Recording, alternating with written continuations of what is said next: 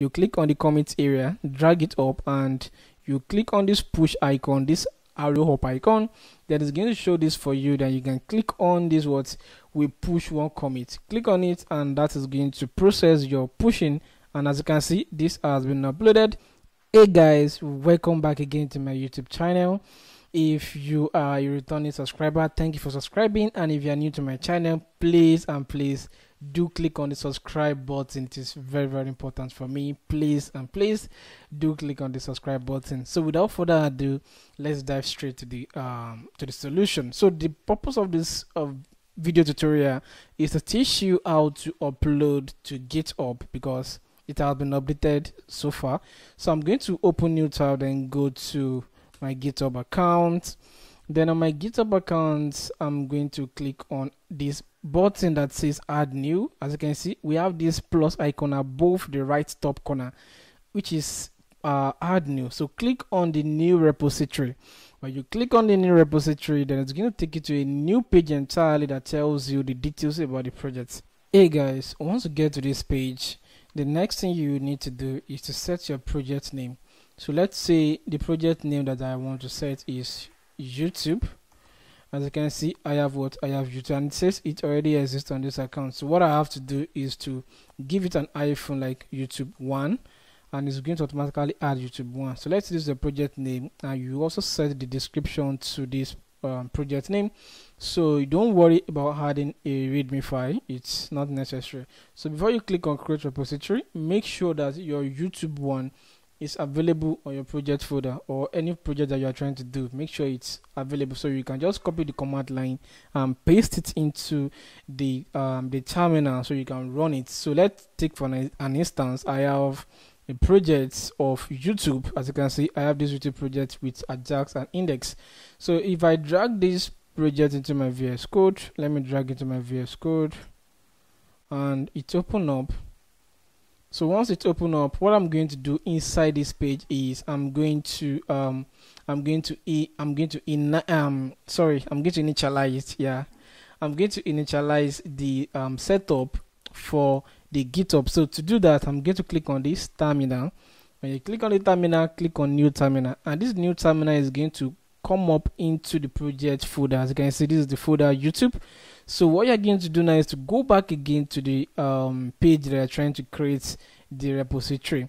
So click on creating a repository and that is going to automatically generate this file for you.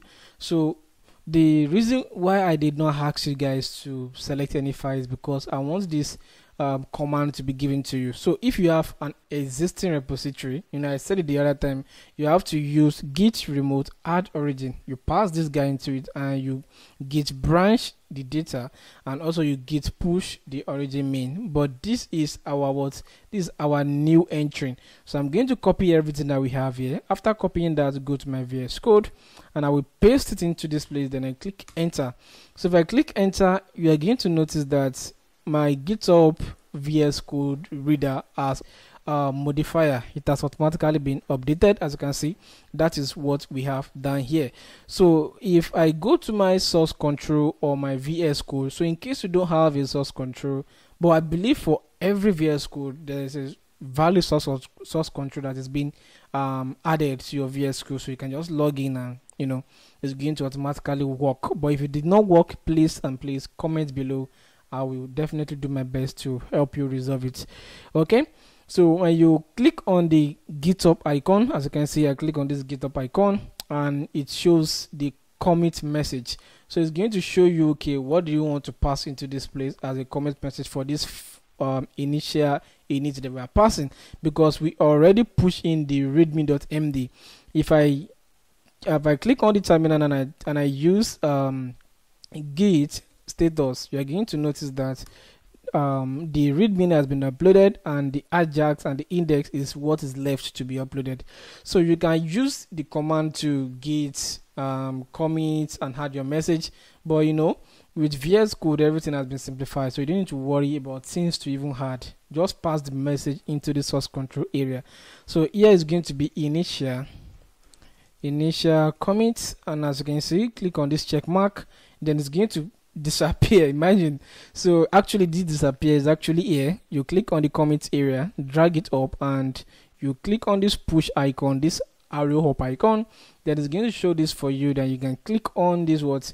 We push one commit. Click on it and that is going to process your pushing. And as you can see this has been uploaded.